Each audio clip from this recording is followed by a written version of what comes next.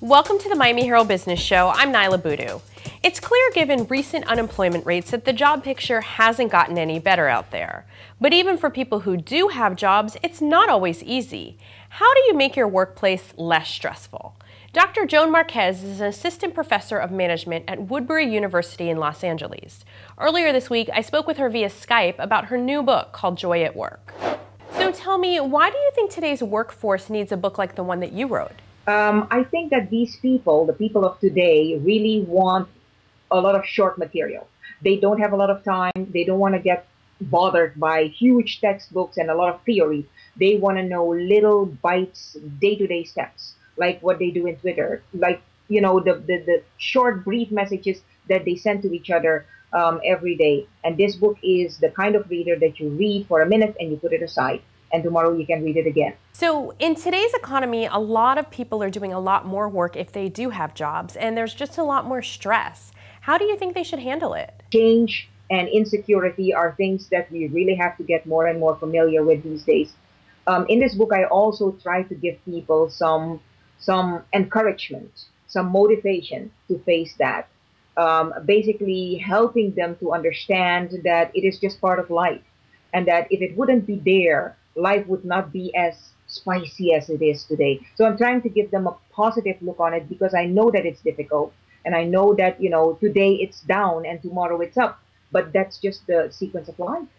So what's the best principle or piece of advice you can give people? I would say, you know, you should never settle for a stressful situation if that's what it is. You always have opportunities out there.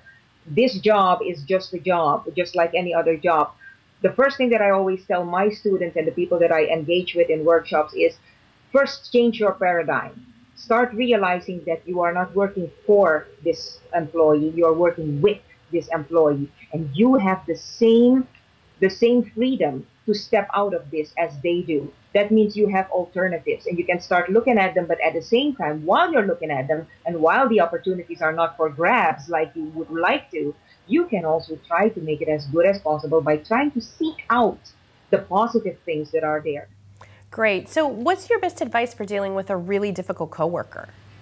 Well, I think that the first thing that I do when I deal with a coworker like that is to realize that this person probably has a challenge, and the challenge is his and not mine.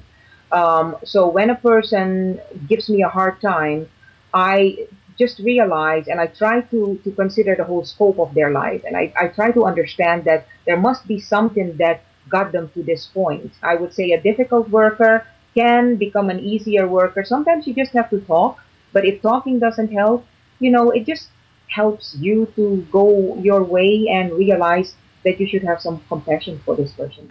Wow, well, that's great advice. Thank you so much. Well, thank you for this opportunity. It was wonderful. Dr. Marques's new book is called Joy at Work. Thanks for watching. For the Miami Herald Business Show, I'm Niala Boodhoo.